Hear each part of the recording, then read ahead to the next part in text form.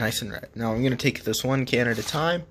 I'm going to make it slightly less red and slightly rustier. I'm going to paint plain silver over that uh, blue part. And, uh, yeah. I will paint it, all in a fast motion.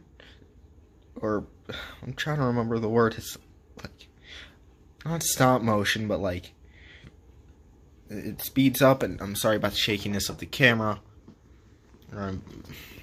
My legs won't stop shaking. I'm I'm sorry. I'm really sorry about that. Okay, so I'll paint the cans and I'll be right back. Oh, the internet today. I wor worked at the zoo. Well, not today, but I once worked at the zoo where I found this thing on top of the cans. It was meant to hold beer, but for the thing that we're making today, a fuel can holder, er, uh, I needed more cans, so I found these. These cans and well, after using them. I didn't use them, but my mom did. So we're going to paint rust on them. As for where I found it, it was after Zoo Brew Day, and uh, normally the zoo doesn't smell very great, but it got uh, either upgraded or downgraded, depending on who you ask, to a Bowling for Soup concert smelling status.